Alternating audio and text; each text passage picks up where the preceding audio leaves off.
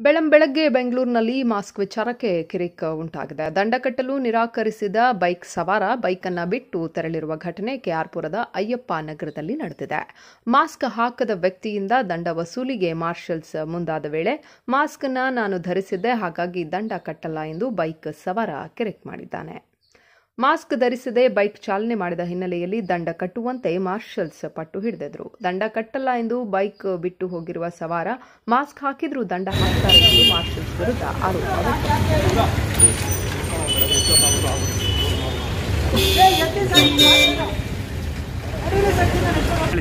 ವ್ಯಕ್ತಪಡಿಸಿದ್ದಾರೆ. ಸರ್ ನೋಡಿ sir job ಮಾಡೋದು. ಯಾವಾಗ ನಾನು ಮಾಸ್ಕ್ ಇದ್ರೆ ಅವತ್ತು ಓಡಾಡಲ್ಲ. ನನಗೂ ಸೋಷಿಯಲ್ ರೆಸ್ಪಾನ್ಸಿಬಿಲಿಟಿ ಇದೆ.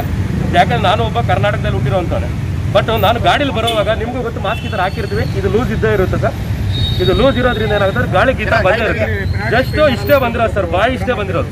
ಇನ್ನೇ ನನ್ನ ಬಾಯಿ ಈ ಥರ ಏನಾದರೂ ಬಂದಿರೋ ತಪ್ಪೇ ಸರ್ ಸೊ ನಾನು ಒಪ್ಕೊಂತೀನಿ. ನಾನು ಒಬ್ಬ ಇಂಡಿಯನ್ನು ನನಗೂ ಕೊರೋನಾ ಬೇರೆ ಸ್ಪ್ರೆಡ್ ಆಗಿರೋದು ಅಂತ ಗೊತ್ತು. ಸೊ ಅವ್ರೇನಂದ್ರೆ ಜಸ್ಟ್ ಈ ತರ ಮೂಗ್ ಬಂದಿರೋದಕ್ಕೆ ಪೆನಾಲ್ಟಿ ಕಟ್ಟಿ ಆನ್ ದಿ ಸ್ಪಾಟ್ ಕಟ್ಟಿ ಕಟ್ಟಿಲ್ಲದ್ರೆ ಗಾಡಿ ಬಿಡಲ್ಲ ಅಂತ ಬೆಳಗ್ಗೆ ಕೆಲ್ಸಕ್ಕೆ ಹೋಗ್ತಾ ಇರೋದು ನಾನು. ಸರ್ ಬೆಂಗಳೂರಲ್ಲಿ ನಾವು ಬಡವರು ಬಂದು ಕೆಲಸ ಮಾಡಕ್ ಬಂದಿರೋದು. ಬೆಳಗ್ಗೆ ಬೆಳಗ್ಗೆ ಇರಿಟೇಷನ್ ಮಾಡ್ತಾ ಇದ್ದಾರೆ. ಸೊ ಈ ಇರಿಟೇಷನ್ ಅಂದರೆ ನಮ್ಮ ಕೆಲಸ ಮಾಡೋಕ್ಕಾಗಲ್ಲ ಈಗ ನಾನು ಮಾಸ್ಕ್ ಹಾಕಿಲ್ಲ ಅಂದ್ರೆ ಅವ್ರು ಹೇಳಿರೋ ಪೆನಾಲ್ಟಿ ಇನ್ನೂ ಐನೂರು ರೂಪಾಯಿ ಜಾಸ್ತಿ ಬೇಕಾದ್ರೆ ಕಟ್ಬಿಟ್ಟು ಹೋಗ್ತೀನಿ. ನಾನು ಮಾಸ್ಕ್ ಯೂಸ್ ಮಾಡಿದ್ರು ಏನಕ್ಕೆ ನಾನು ಫೈನ್ ಕಟ್ಟಬೇಕು ಇದಿಷ್ಟೇ ಸರ್ ನಾನು ಕೇಳ್ತಾ ಇರೋದು.